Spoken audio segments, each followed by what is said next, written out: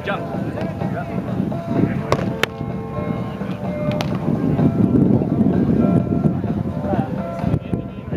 Yeah, dude. Just make him stop you.